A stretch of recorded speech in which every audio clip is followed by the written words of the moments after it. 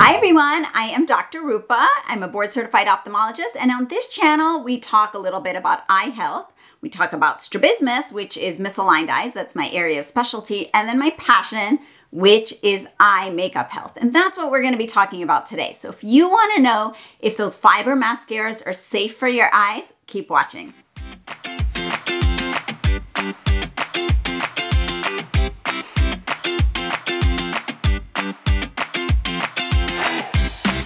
So I've gotten this question a lot, and you guys know I love lashes. I love mascaras. I have quite literally, I'm a little embarrassed. All right, I'm gonna pull it out because we're all friends here.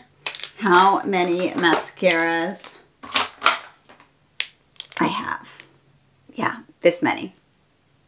So suffice to say, I like mascaras, and I'm always searching for the next best one that's gonna make my lashes thick and full and beautiful.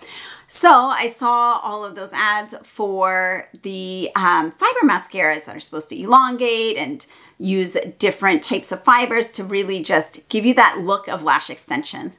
And I wanted to investigate if that was actually safe for your eyes. So here's the situation. Those fiber mascaras can actually be a little bit dangerous for your eyes. There's a particular ingredient that you need to watch out for. You want to make sure that you don't buy any of the mascaras that have nylon 66. I'm not going to name names of mascara companies because I don't want to get into trouble, but I am going to link in the notes below of an article in one of our ophthalmology journals, one of our big time ophthalmology journals, of a case report of a woman. So, a case report is just like when we see a patient in the office and it's such an unusual finding that they decided to write it up and it was published in the journal. And the reason it was so unusual is because the woman was using this particular fiber mascara, and you know, they reference it in the article. And she actually got a couple of them embedded underneath the conjunctiva, which is the white of the eye and even a few of them were just floating kind of in the tear film. So what's the big deal if that were to happen? So this woman was in her 50s and she'd been using this lash extension fiber mascara and she presented to the ophthalmologist. She was complaining of a lot of redness and pain, tearing. So when they examined her, they found several of the fibers in the eye and then some actually in the subconjunctival space. So what is that space? So the conjunctiva, we all think of it as white. It's conjunctivitis, that's pink eye, right?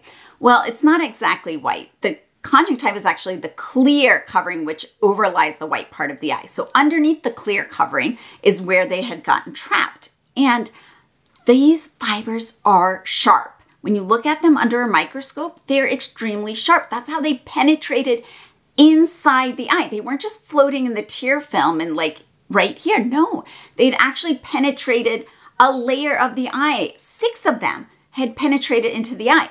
And the main issue, other than the fact that you've got now like a sharp object in the eye, is that these nylon fibers are coated with chemicals. The chemicals are propylene glycol, squalane, and tocopherol. I don't really know what those are, but they are chemicals that are not supposed to be in your eyes. That's it. So that's just a potential thing that can happen with these fiber mascaras. And I think a lot of people are unaware of that being a complication. So what happened to the woman you might ask? Well, her eye was in so much pain she wouldn't actually she couldn't tolerate removing those foreign bodies because that's actually what they are. They're foreign bodies. That's what we call them at this point, conjunctival foreign bodies. She, the ophthalmologist could not remove them in the exam room. So they just left them there.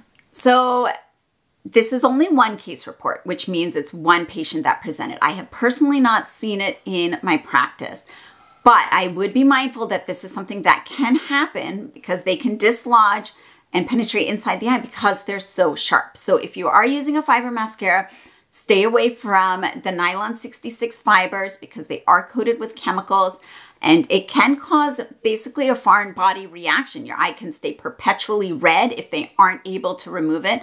Likely, they might have to take this particular woman to the operating room so they can numb her and just cut away the conjunctiva and then remove those fibers. But you just have to think if that's worth it or not. There's a million other mascaras on the market, and I'm sure you can find one that's just as effective for you, the one that might cause some harm to your eyes.